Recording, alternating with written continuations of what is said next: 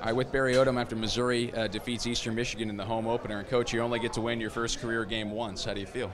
Excited for our kids. Uh, they've worked really hard to get to this point. We were we were looking forward to getting uh, our first home game here. It's always, um, you know, there's nothing like it playing it here um, under the lights, and happy for our kids to walk out of here and get back in the winner's circle. And um, you know, I'm happy that, that we were able to do that for them. They're happy for you too. They gave you the game ball. They chanted your name again. It sounded like the night you were hired, and that's got to make you feel pretty good. Well, I've said it a number of times. I owe these guys. Um, they've done everything that I've asked them to do, and we've got a lot, lot of work left ahead of us. Um, but I'm, I am happy for them, and uh, we'll be excited to get to work tomorrow morning. What were the biggest improvements from week one to week two that you saw tonight? I think efficiently on offense, we were able to, you know, obviously score points. Um, Drew again had a nice night, spread the ball around, had some receivers step up. Uh, those were good, really good things offensively. I liked what we did in most of the kicking game. There's things still yet to be corrected, and then defensively, you know, made some strides in the right direction. We got to get off the field on third downs, um, so we'll, we'll get that fixed. We'll get better.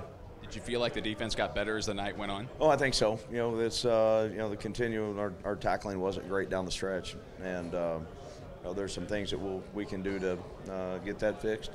Um, listen, I'm proud of our team on having a chance to go win it. And that offense was really humming at times. You can really tell when they get into a rhythm, they get locked in and they just move that ball. It's almost like a basketball team that throws the full court press. They score, they press. You guys, as you got first downs, um, was that about uh, where, where that offense needs to be in terms of rhythm?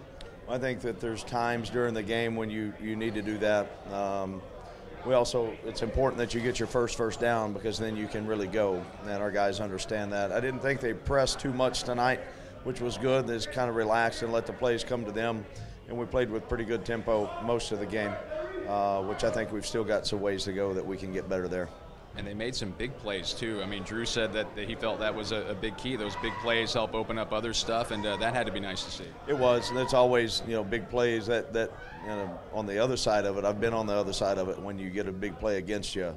Um, you know that that takes it out of you a little bit. So repeatedly we hit plays down the field. You know, and that's uh, takes a lot of guys working together to get that done. Coach, congratulations on your first win of what I'm sure will be many. Thank you. That's Barry Odom after his first career victory as Mizzou's head coach. Tigers defeat Eastern Michigan in the home opener.